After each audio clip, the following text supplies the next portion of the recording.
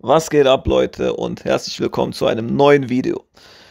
Bevor wir mit dem Video starten, wollten wir uns erstmal bedanken für die zahlreichen Aufrufe aus dem Nichts. So viele Aufrufe auf die zwei Videos zu bekommen. Einfach äh, Wahnsinn. Danke euch dafür. In dem heutigen Video geht es um 5 Fakten über den Super Saiyajin. Wir haben uns da 5 Fakten rausgesucht, die wir ganz interessant fanden und vielleicht kennt ihr sie auch schon, vielleicht auch nicht. Aber dann lasst uns einfach mal anfangen. Fakt Nummer 1 wäre der Multiplier des Super Saiyajin. Laut Daisenshu ist er 50 mal so stark wie die Normalform des Anwenders. Dort wurde ein Beispiel gegeben, Son Goku hatte auf Namek eine Kampfkraft von 3 Millionen und als er sich in einen Super Saiyajin verwandelte, war sie bei 150 Millionen. Als Fakt 2 haben wir die Pseudo-Super Saiyajin Form, die im Film Super Saiyajin Son Goku auftaucht. Diese Form ist nämlich Toei Animations erstes Design, was einen Super Saiyajin betrifft. Also sozusagen so hat sich Toei Animation den Super Saiyajin vorgestellt, bevor Akira Toriyama überhaupt mit einem Design für den Super Saiyajin fertig war. Fakt 3. Im Originalmanga hatte der Super Saiyajin zuerst rote Augen. Das sieht man nämlich in den kolorierten Manga-Seiten, die so, die so ursprünglich im Weekly Shonen Jump Magazin veröffentlicht wurden.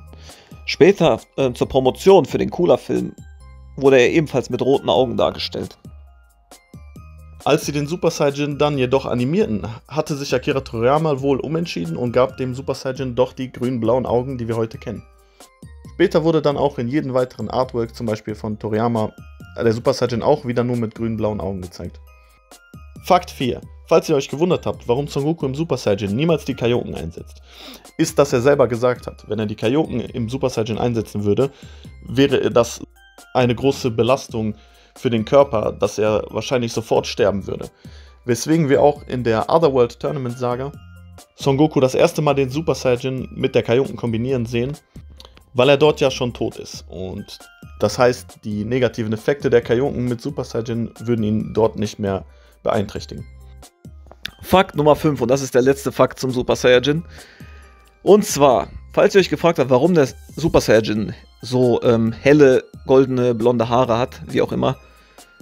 Es ist ganz einfach, weil Akira Toriyama und seine Gehilfen, als sie den Manga zeichneten, die schwarzen Haare von Son, von Son Goku nicht ständig ausmalen wollten. Das heißt, sie wollten Zeit sparen und so ging es einfacher.